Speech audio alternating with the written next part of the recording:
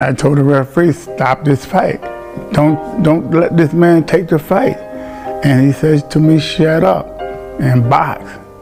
They told me shut up and fight. Keep beating him up, but I, I beat him up. What I got to do? Kill him? I'm beating him up. Can't you see I'm beating him up? But they pushed him out there again. I was not hitting him hard no more. I was just just to hit him, just to try to make him quit. And I told the man I still love him. I, said, I still love you, man. And he said, if you love me, why you beat me up then? I was part of the game. And after the fight, I went to his dressing room. I just went to grabbed him, hugged him, gave him a kiss, and told him, I said, you be the greatest, man. You always be the greatest in my book. It hurt you to punish him that way, didn't it? I feel that he fought one of the baddest heavyweights in the world today, and you cannot take credit from him.